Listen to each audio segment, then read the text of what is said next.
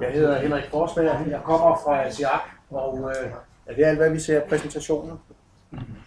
Det lille nyhed dernede i hjørnet. Okay. Jeg er projektchef i ASIAC, og baggrunden for den præsentation, jeg viser i dag, er, at jeg tænkte, jeg kommer i fortiden fra en forskningsverden, men jeg har arbejdet kommercielt. Så jeg har taget min sælgerjagt på.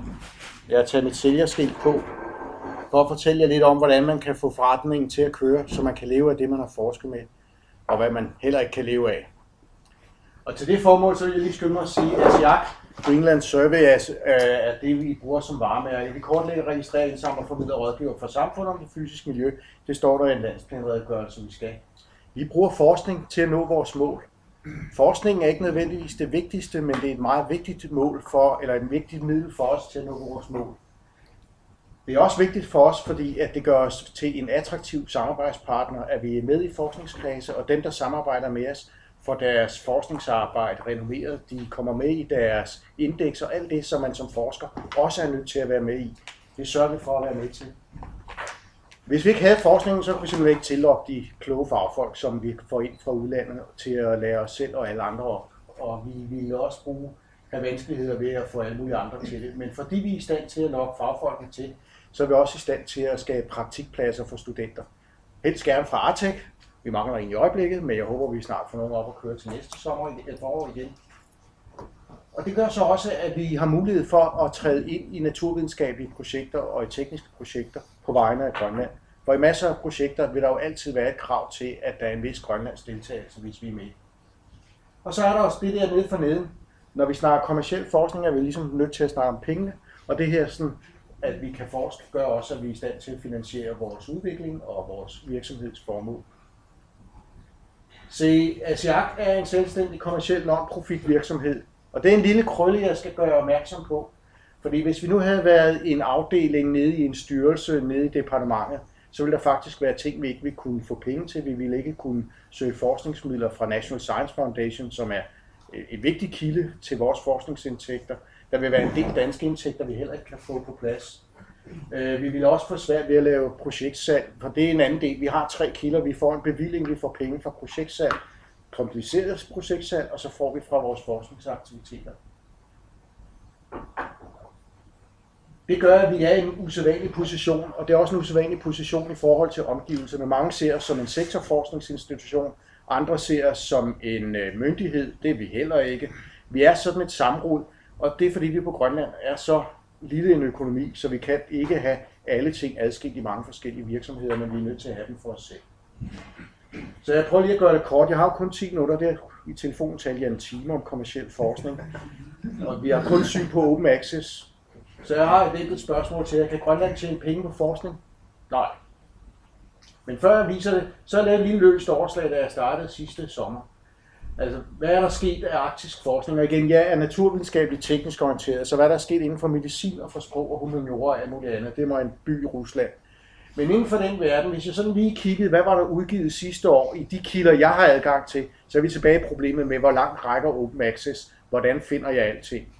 Så vil mit gæt ud fra min fortid og alt muligt andet være, at der bliver nok spenderet 700 millioner kroner om året på forskning, der har noget med Grønland at gøre inden for naturteknik i hele verden. Det er rigtig mange penge. Og så fik jeg det til 28 millioner at spendere Grønland. Det var mit gæt, fordi der går 2 millioner, som jeg husker, til Forskningsrådet, og jeg gætter på 26 millioner fra Naturinstituttet og os andre. Det er nok, hvad der går alene på forskning. Resten er alt muligt andet, man ikke vil kalde forskning. Det bliver til den der lille ishockey dernede, det er Grønlands andel. Når vi har så lille en andel, så er det, jeg som sælger er nødt til at sige, så er man nødt til at optræde opportunistisk. Det vil sige, at man har ikke en lang plan nødvendigvis. Man ved godt, hvad man vil på den lange bane. Men det gælder om at slå til, så snart lejlighed byder sig. Opportunistisk. Andre steder i verden, der ville det være helt forkert. Jeg har jo en langvarig projektuddannelse. Hvis der er noget, der bare ikke er korrekt, man vil dumpe på i det store projektchefuddannelser, det er at komme og sige, jeg laver opportunistiske projekter. Ud.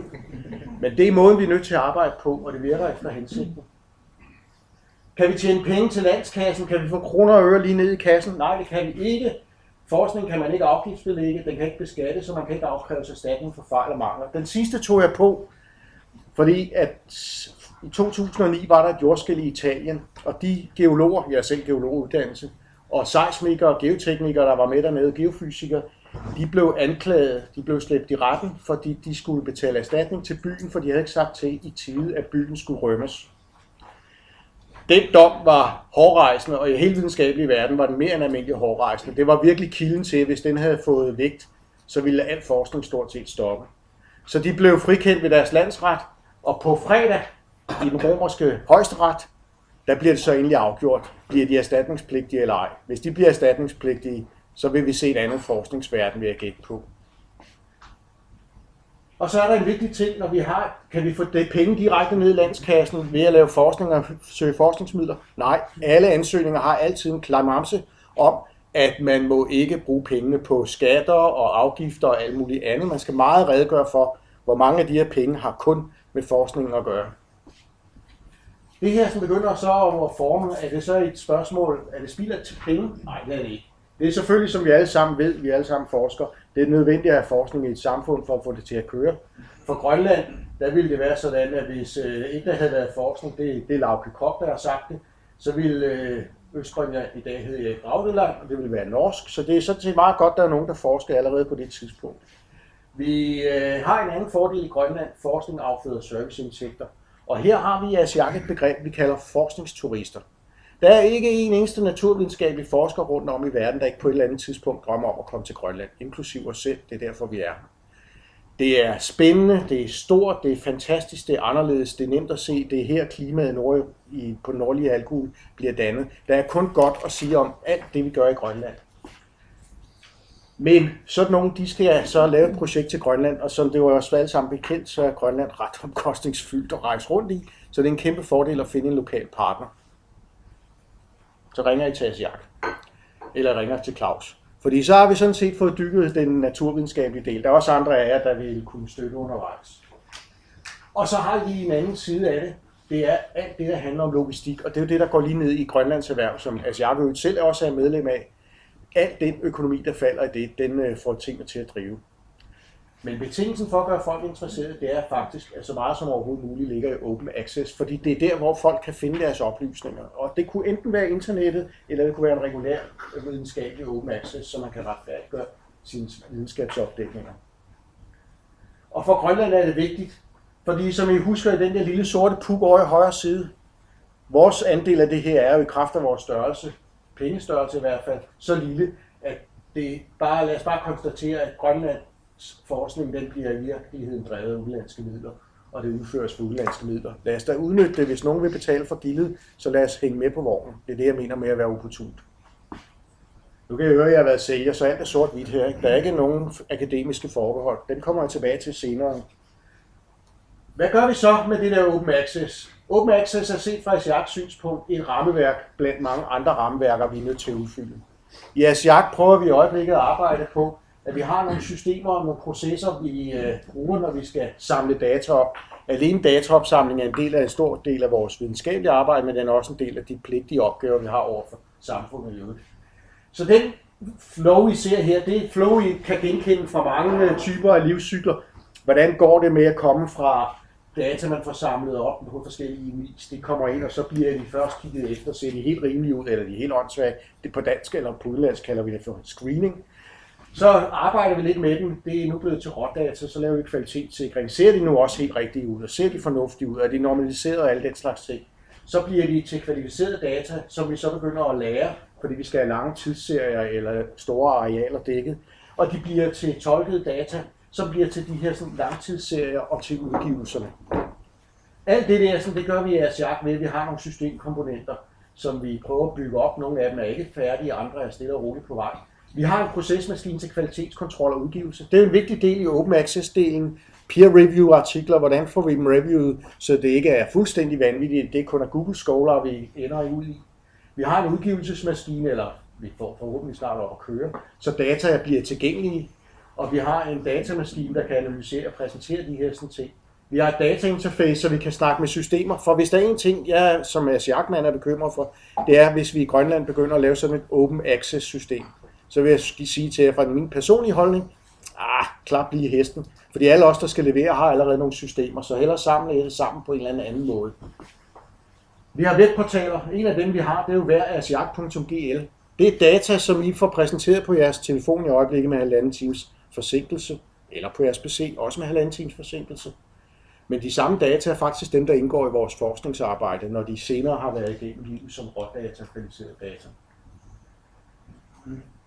Alt det her fører frem til, at vi har offentlig adgang. Og det har vi af en helt almindelig, eller vi har to typer af offentlig adgang. Der er dem, der skal kunne komme hen til os og hente data, og der er endnu flere steder, hvor vi simpelthen skubber vores data ind i andre systemer. DMI, hvad hedder det, GeoNames, Google, der er hav af mennesker, der får data for os. Og nogle af dem får det kvitter frit, og andre får dem, fordi vi får data for dem. Der er byttehandel i data, det ved I jo nok alle sammen. Men nogle gange glemmer økonomer, når man snakker med dem, så ser de på forskning som, det er jo kun kroner og øre.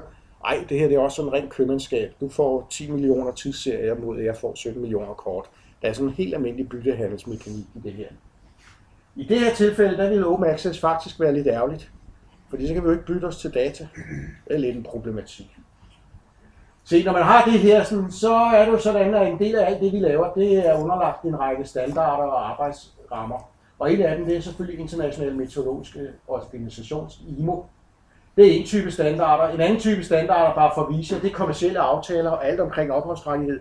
De to ting skal så spille sammen. Nu begynder det at blive kompliceret. Og alt det her skal ske inden for det samme system. Så har vi jo også en standard for Inspire, der handler om, hvordan man skal udveksle geodata.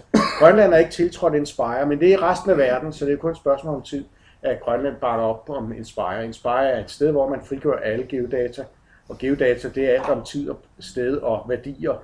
Faktisk også de geologiske data, den har jeg meget svært ved at forestille mig at blive frigivet. Oven i alt det skulle vi så også lægge et rammeværk for Open Access.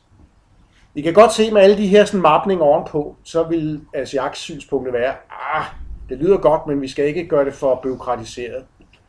Og hvorfor nævner jeg det? Jo, fordi i sidste uge, der var jeg nede i Danmark, og så var jeg der i møde, og så spørger jeg i pausen to af dekanerne og spørger, hvordan har I det med Open Access? Og kender I det her, sådan, der er nogle gange, hvor man bare ikke skal sige til folk noget som helst. Man skal bare ikke sige det forkerte. Fordi de blev fuldstændig blanke, sukket, og så snakkede de i 10 minutter, uden at blive afbrudt, fordi det var ikke noget, de kunne lide. De kunne godt lide princippet, de kunne godt lide holdningerne, men de kunne ikke lide implementeringen. Det var helt tydeligt, at det var lige det forkerte, jeg spurgte om, og kagen var ved at gå forkert i halsen. Så Open Access, motivet er godt, men implementeringen skal man godt nok være varsom med. Se, så vil jeg lige trække frem. Der er jo en vigtig ting, forskning fører til viden. Det her, det skulle faktisk være hele vores arktiske område, og det er så der, hvor at, øh, vi har inuit dialekterne. Og derfor så er der jo sådan nogle klassiske, rigtig klassiske ting. Viden er magt, det får vi garanteret alle sammen lært. Skjent er potentialist. Og en anden udgave, det er den, som for eksempel alle de praktiserende læger har både i, USA, i øh, England og i Australien, Britannien i det hele taget. Viden og omsorg, eller hvordan man nu oversætter skjent til caritas. Der er også viden af, den, den kan oversættes, den kan diskuteres, der er skrevet artikler om det ene ordsprog. Men viden skal deles med andre, så den kan bruges. Og her er et af udfordringerne, det skal de ikke altid. Viden skal ikke altid deles. Og den ene af dem er, at nogle gange kan man alt viden heller ikke deles, fordi sprog begrænser adgangen. Hvis vi kun skriver på inuit, så vil vi have et meget lille publikum. Hvis vi kun skriver på dansk, har vi et meget lille publikum. Hvis vi skriver på engelsk, har vi et kæmpestort publikum. Skriver vi på kinesisk eller russisk, har vi et kæmpestort publikum. Men dem, der kan kinesisk, kan ikke nødvendigvis engelsk, og dem, der kan engelsk, kan ikke nødvendigvis russisk. Så vi skal simpelthen vælge, hvem vil vi snakke med.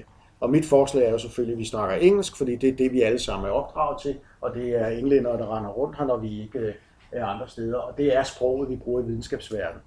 Men det betyder stadigvæk, at der er 2,5 milliarder mennesker, der ikke kan se vores data. Så open access, fri data for alle. Du skal altså lige kunne sproget. Og så er der jo så lige også det andet der. Hvor meget sprog skal man kunne? Skal man kunne det faglige terminologi, eller skal det være alle de populære artikler? Det er nogle af de ting, som vi jo selvfølgelig altid skal overveje. Og så er der nogle rimelige begrænsninger i adgang. Per nævnte nogle af dem. Der er altså også kommersielle rettigheder, der er immateriel ret. Vi er som selvstyreejet virksomhed underlagt på nogle felter offentlighed, lov i offentligheden, men det er vi så ikke helt alligevel, fordi vi er i Grønland. Men vi vil også have udfordringer, fordi vi laver kommersielle aftaler, og ligesom vores øh, geologiske kollegaer, så er der data, der er fortrolige, og det er de af kommersielle årsager, og de skal være fortrolige, fordi det er en sikkerhed for investorerne. Der er også forvaltningsbehov, hvor vi ikke fortæller Gud og hver mand, som jeg lige sagde til Claus før, der er ting, som er mig en mysterie, hvad der foregår i selvstyret. Det kan være, det er meningen, at jeg ikke skulle have det at vide. Det kan også være, jeg tror, jeg, det tror vi alle sammen kender, øh, I glemte vist at fortælle mig, at der skulle laves et eller andet. Så, så der er nogle gange en information er hemmelig, og andre gange så er den bare blevet glemt. Den er ikke kommet videre. Og det er vores pointe. Forskning skal deles med andre, og det betyder, at man aktivt skal gå ind i sin formidling. Og det gør vi jo så også. Og så har vi så lige en stor udfordring her, fordi hvornår skal vi udgive data? Vores forskningsaktiviteter er baseret, eller har i hvert fald indtil for nylig været baseret på, at man samler sine data, og det gør man en lille lukket kreds, og man bearbejder, man, man kigger på dem, går der et år eller to, og så kommer der en artikel ud. Og den artikel, så frigiver man samtidig data. Men vi arbejder med dynamiske klimadata fra dag til dag. Hvordan skal de nu komme ud, og skal de være frit tilgængelige, og hvor mange skal være frit tilgængelige? Det er mentalt en kæmpe barriere pludselig som forsker at skulle frilægge alle sine data, før man selv har arbejdet med det. Man risikerer jo, at nogen er hurtigere og smartere end en selv. Det er en overvejelse, man skal gøre sig, om hvad der er bedst og hvad der er ikke godt. Og så er der det skægge ved viden. Viden kan lamme. Altså en meget vigtig ting omkring viden, at det kan lamme, det er, øh, hvis man serverer for meget viden for folk, så bliver de handlingslamme, så kan de ikke tage stilling. Man kan også servere så meget viden for det, at de taber overblikket, og så kan man få fred. Det, det ved jeg ikke, om jeg nogensinde kunne finde på at bruge politisk. Men hvis der er en eller anden, der vil have noget dokumentation, så giver man den 10.000 sider, så får man 14 dage til det, slipper man for dem i 14 dage. Det er ikke så ringe. Så viden kan også bruges til noget af alt det kedelige og det grimme. Her er et eksempel på, hvordan vi anvender viden kommercielt i ASR. For det første, vi møder vores kunder, ikke med et forskningssynspunkt, vi møder det i forhold til, om de arbejder i mineindustri eller bygningsindustri eller noget andet. Så alt, hvad vi laver, det er lavet i forhold til forskningen, og så er det lavet i forhold til, hvad, hvor vores kunder er. Det er ikke nødvendigvis det samme ting. Så tilbyder vi vores tjenester som specialister, og det betyder, at vi faktisk har lige en lille ting her. Vi optimerer vores arbejdsmetoder med forskning, men det vi sælger er ikke nødvendigvis forskning. Det er, når vi laver forskningsprojekter, vi laver det. Og så, jeg, så har jeg her min kæphest nummer et. Vi er alle sammen akademikere. I kender alle sammen, man skal huske at tage forbehold for alting. Jeg er nødt til at sige til, at den kommercielle verden er begrebet forbehold fuldstændig ligegyldigt og ukendt. Der er ingen, der gider tage hensyn til det. Per nævnte så fint. Tænk nu, hvis de tager mine data, og de misbruger dem, og de gør noget forkert med dem, eller de tolker forkert, eller de bruger dem til nogle andre argumenter. Bad luck. Sådan er det, hvis man vil være. Hvis man vil dele sine data, så har andre adgang til dem, og så kan de gøre med dem, hvad de vil. Derfor så når man bliver kommersiel, møder man et fag, der hedder risikostyring. Så alle de der sådan, akademiske forbehold, dem skriver man på sin risikoliste, og så overvejer man så, om man stadigvæk vil være kommersiel, eller om man vil ikke vil. Og mit budskab er, tag nu og bliv det. Det her er et eksempel på, hvordan vi for eksempel prøver at møde bilindustrien. I deres verden, der har de sådan seks trinede flow, øh, procesfaser, de går igennem, når de vil udnytte et eller andet ud naturen. Og vi mapper så ind, hvad vi kan levere i forhold til deres øh, behov. Og det er en af de vigtige ting, man skal kunne som forsker. Og det er også en vigtig ting, når man skal lave open access. Hvordan kommer man frem til kommersiel forskning? Ja, forskere de øh, har det med at sige, bare man lige laver en dataindsamling, syntetiserer og publicerer, så er vi godt kørende. Det er rigtigt for grundforskning, og det vil jeg gerne have lov til at understrege, at grundforskning er alfa og omega. Men på et eller andet tidspunkt, så skal der også være noget kommersielt i det, og dataindsamling, syntese og publicering er ikke kommersielt en forsker skal have noget kommersiel empati. Det vil simpelthen sige, at man skal kunne være nede i lommerne på folk. Jeg skal kunne være nede i lommen på Claus, sammen med hans penge, for ellers forstår jeg ikke, hvordan jeg får penge ud af lommen på Claus. Det er rent sandt. Det er at forstå og leve ind i folks hjerne, og forstå deres behov og få ens arbejde til at sætte ting på det. Og det behøver man ikke være super skarp forsker, det er en anden mentalitet, der skal til det. Så det er kun nogle forskere, der har den der sådan kommersielle sans. Så derfor så gør mange forskere det, Find en partner, find nogle af de der sådan spredbasser, der ikke kan andet. Ring til mig måske, eller I kan finde masser af dem. De er her altid. Der er et hav af konsulenter, der kommer og tilbyder sig, men nogle af dem er faktisk ret gode. Og der er også masser her nu. Find nogle af dem der, der kan leve sig ind i huden på folk. Og så skal I gøre tre ting, og det er faktisk tre ting, som vi også insisterer på nede i jeres jagt den dag i dag. Man skal altid, før man sætter sig ned og begynder at overveje noget som helst, overveje de her tre ting. Hvem skal bruge det? Hvad skal de bruge det til? Hvad skal de vide på forhånd for at kunne bruge det? Hvis man ikke kan svare på de tre ting, lad være med at bruge din tid på det. Drop det, lav noget andet. Det er et vigtigt budskab, hvem skal bruge det, hvad skal de bruge det til, hvad skal de vide på forhånd for at kunne bruge det. Når du ved det, så ved du nemlig også den anden vigtige idé. Fordi nu kan du bruge den til noget kommercielt. Du kan gøre den tilgængelig først og fremmest. Udgive, undervis, fortæl. Det er sådan et rigtig vigtigt budskab for set med mine øjne, når man skal arbejde med forskningen. Og det er her, hvor open access er vigtigt. Og så har vi lavet den kommercielt. Lav en forretning, lav et produkt og sælg varen. Hvis du ikke selv kan sælge, find nogen, der kan sælge det. Der findes gudbenåede sælgere, der kan sælge hvad som helst. Men før du gør alt det der, skal du lige overveje en helt banal ting. Det du har lavet, vil du selv finde på at købe det?